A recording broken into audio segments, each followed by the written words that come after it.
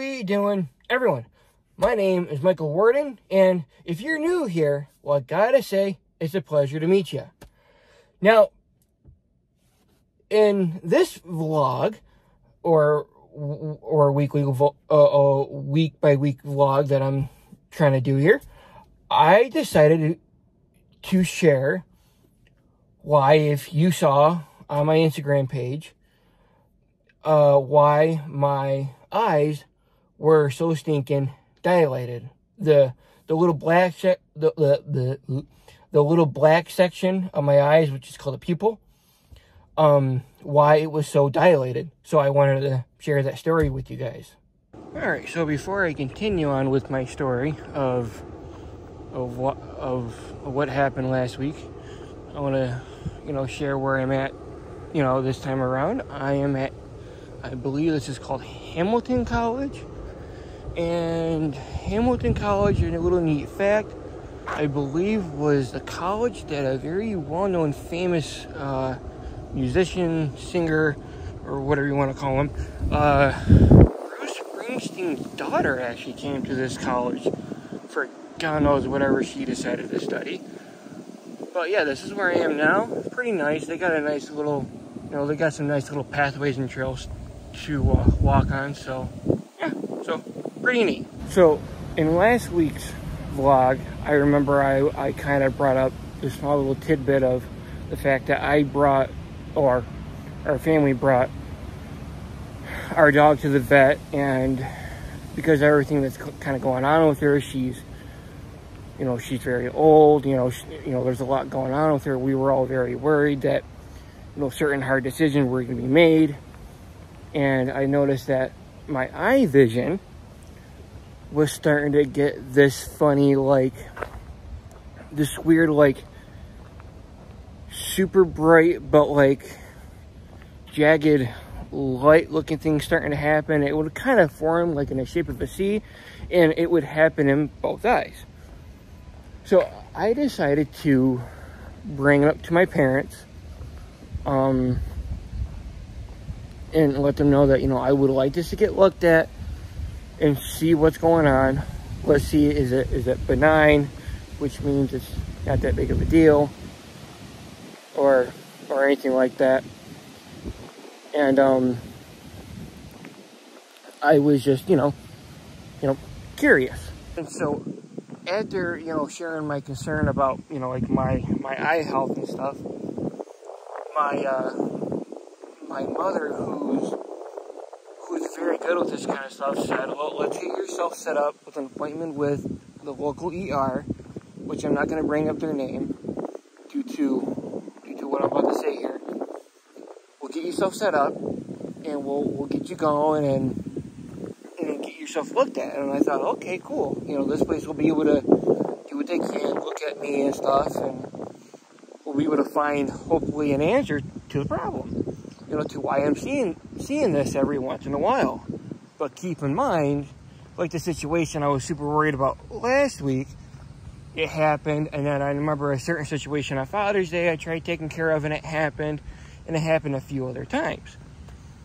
So, you know, the next day comes, and you know, feeling happy and relieved and whatnot about you know the decision with the family dog and stuff, and and also falling into the acceptance of I couldn't do the thing for my dad for Father's Day, I um we decided to you know go in, go into the hospital, and the hospital is kind of asking me, well, "Excuse me, sir, uh, Mr. Worden, what's going on here?" I go, "Well, I'm starting to see this funny C shape and stuff, and you know, hopefully I can get looked at." So I go there, I get called in. The nurse is talking to me. And she's like, well, what's going on? And I go, well, I'm starting to see this, like, this, like, funny, like, C shape, and I don't know what's going on. And she goes, well, okay, hold on a second. So she decides to go to the doctor that's there, which, which was on a Sunday. And she comes back, and with this total concern look, she's like, you got to get this looked at. This might be what's called a retinal detachment and I'm like, whoa, you know, the way that she was sounding and talking, it was like totally concerning. She was like, like you got to get this looked at now. Like, like it, and she just built this worry into me, and like knowing my mom, it built a worry in her too. And I'm like, holy smokes, you know. So if anything, doctors, if depending on the doctor, and I guess depending on where on where you go, they're pretty good at building up that uh, that concerning feeling in you and make you want to like it makes you feel like you know the world is falling on you. But really, I end up being fine. But as I continue, also, I also want to bring up the fact that this hot that this doctor office was like, you need to get the, you know, you need to get this looked at now. And I'm like, hmm, you know, it, it just had me worried. Like they thought, you know, for some odd reason that my eyes were falling out of my head. They had me thinking that like I was gonna lose my vision within the next five minutes or tomorrow. But that really wasn't the case. So we decided to go home and thank God for my dad. He was like, whoa, he goes, we're, we're thinking about going straight to the ER knowing that they may not be able to do anything for you right now, spend your whole Sunday in the ER, maybe possibly come to find out that there's nothing wrong with you, yet they may not be able to get give you a good, legit answer. Even then, they might even still recommend you to go to another doctor, like a retina surgeon, to get a referral, and yet you're going to still be hit with all this charge, and yet you're going to waste your Sunday. And I'm like, man, he brings up a really good point. So, in a funny sense, I'm kind of happy I decided to wait it out, that day and not actually go into an ER and get looked at and spend my whole Sunday in an emergency room. So, after having that discussion about, you know, a way about wasting my time and having, having in a way nothing to be done, was going to the ER and stuff. I decided obviously not to go, and um, my dad actually called a retina surgeon that's actually right around the corner from from where we live. You know, get you know, finding a way to be able to get us in. You know, for possibly you know for possibly to be looked at for a retina detachment, and they said, you know, if anything can be done, we'll we'll, we'll give him. You know, you know, give me a call tomorrow about getting me in and stuff. And um, which had which which actually did happen. And I got the phone call and I called them when actually when I was at work, and they said, you know, you, you know, if anything due to your situation, we want you in right away so that we can look at you and see what's going on. But you need to be here like ASAP, like right now. I'm like, okay, you know, my work is based out of, you know, is based an hour away from where I live, and and I go, are you gonna guys will be able to see me today? And they said yes. And this retina surgeon is amazing. And um, I got in that Monday, which was last week, obviously, and they, you know, they they looked at me, they asked me a bunch of questions, and as I'm sitting there and as I'm answering these questions, they they it really started making me feel better, and they really I really started to feel like I really had nothing nothing too severe. But I did end up hearing that if they did end up finding any signs of retina detachment that they were to operate on me right there and then, which kind of had me a little spooked, but I kind of knew based on based on the questions I was answering confidently to the to the nurse that was kind of getting the information on me, I kind of started feeling like I was okay. After I was being asked all these questions, the the nurse then did a few procedural things to me. And first she she they she put some some like eye numbing drops in my eyes. And thank God I have been told I'm not the only one that that that deals with this, but when they kind of like start putting stuff in my eyes, I get twitchy. I don't like it. It feels strange. It feels weird. Um, I, you know, I, I went through it. You know, put some. They put eye numbing stuff so that they can push this little thing in, in, in, into my eyeball to test my, my, my retina pressure or something like that. And then, you know, they did at both eyes and they said, your eye pressure is fine. And they're really starting to figure out through these testing and through these questions that I was pretty much okay. And, um, and, and then the, the, the girl was like, all right, she goes, I'm to put this, I'm to put this eye dilation stuff in your eyes. And And I'm like, all right. And I'm like, so I'm like, what's gonna happen to my vision? Am I just gonna is is my vision gonna gonna gonna get so dark because my eyes are so dilated or something? And she didn't really answer me. She kind of just did it. She kind of just like, uh, you know, your vision's gonna get a little weird, but not too bad. And I'm like, okay.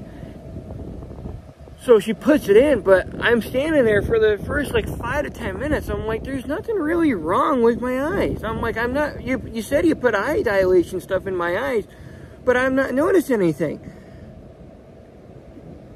Dare I tell you, one a few things that I recognized was, first of all, my the room, they, they, they have 100% control of the lights. You know, they, they can kind of control precisely how they want to dim the, rooms.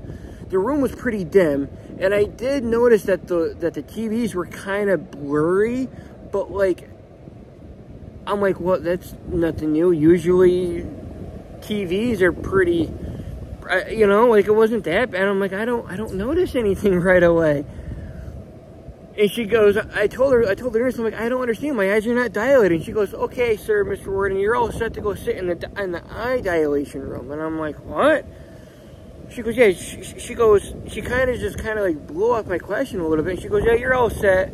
She goes, oh, trust me, it, your eyes are dilated. And I'm like, I don't know what you're talking about, you know. So I, I go into the I go into the um I go into the waiting room and I wait a little bit and I get called in to, to, to be to have my head kind of shoved into this eye thing and look and they take this these pictures and it, it's like this bright light across my my my eyes and I'm like oh and I'm like and they're doing it for both eyes. And I'm like whatever it was that that wasn't totally comfortable but whatever they had to do what they had to do. And then of course I go back to this eye dilation waiting room and then and then I had to go into this like this eye sonogram room where they where they basically at certain points in my eyes they were taking pictures of my eyes of a sonogram and of course that had its own fair fairness of fun. And I'm like ugh I'm like stop it. But it's weird. And and eventually I just opened up to the nurse. And I'm like nurse you don't understand. I've been told that they put eye dilation drops in my eyes but I don't know what's going on. But I also noticed when I tried staring at my phone, it was really stinking blurry, and uh, when I couldn't seal that well, and it was kind of uncomfortable, and I just noticed certain, I noticed that like TV screens are, are like super bright in a way, and she goes, yeah, she goes, your eyes are completely dilated, uh, there's a lot of light going into your room, and your eyes are trying to focus. And, and I'm like, oh, she goes, yeah, your eyes are dilated. I can see it. And I'm like, okay. So eventually I go through it, I get done. The eye surgeon sits me down, talks to me. He goes, what's going on? I go, I saw it this time. I saw this funny light here and I saw it there. She goes, oh, okay. He goes, he goes, what's going on? And she goes, you have what's called an ocular migraine. And he goes, they are completely, they're com they are completely benign. He goes, you're fine. She go, he goes, he goes, once they come, they'll go.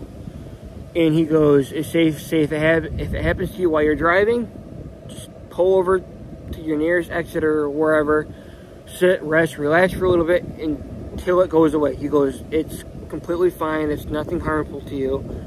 And I'm like, okay, good. And so I remember when I got done, well, during that conversation with the surgeon, he goes, do not go to an ICER, do not go to an ER, do not go to urgent care, do not go to anything like that. He goes, if you got any eye issues, you come here. And I'm like, oh, okay. And and at that point, I knew I was in pretty good hands because I was worried. You know, I didn't. You never know. And and, and if there's anything that you guys want to take from this, 100%. If there's anything of aspect of health, period, if you have any concerns, I would recommend getting it looked at. Um, do I put things on a higher order than some things? I do.